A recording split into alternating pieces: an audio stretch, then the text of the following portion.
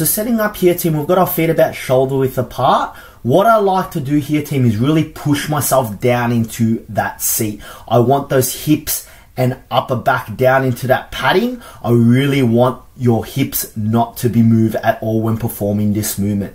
You can see here, I've got my toes pointed up to the ceiling and when I'm coming down, I'm really trying to squeeze my hamstring and glutes.